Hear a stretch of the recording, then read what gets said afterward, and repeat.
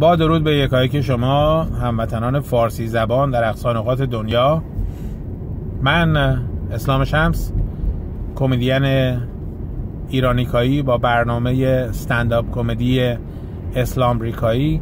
بعضی وقتا بر اساس مشاهداتی که می‌کنم برنامه های کمدی اجرا می‌کنم. ولی یه اتفاقاتی داره تو آمریکا میفته که واقعا تلخترین کمدی که داره جلو چشم ما اتفاق میفته و مردم هم روشونو کردن اون بر.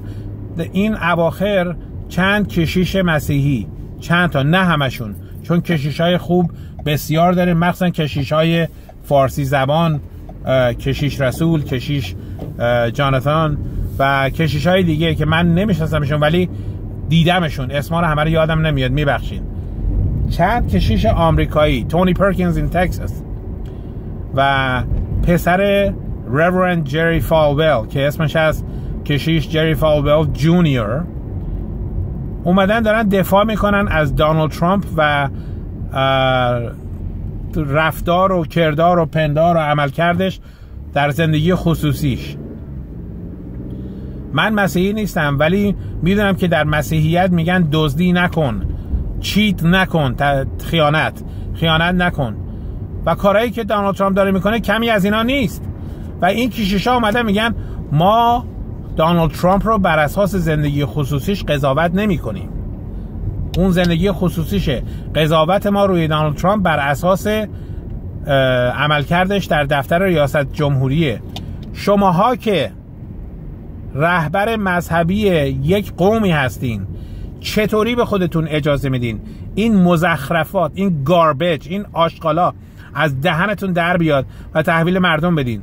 الان مثل که به نفعتونه که اینا رو بگین ها؟ خب اینا خود جمهوری خواه هستن و طرفدار دانالد ترامپ. من I have nothing against Donald Trump فقط موندم این کشور چجوری می‌تونه اجازه بده که کشیشش که باید مردم رو به راه راست هدایت کنه صاف صاف دارن راه میرن و دفاع می‌کنن از کسی که به زنش بعد از اینکه پسرش به دنیا آورد با یک پورن ستار فاحشه نمی‌دونم کدومش آشنایی دارین؟ The J word maybe. سکس داشته باشه و اینا اصلا ابدا اهمیت ندن بهش. و بگن این زندگی خصوصیشه.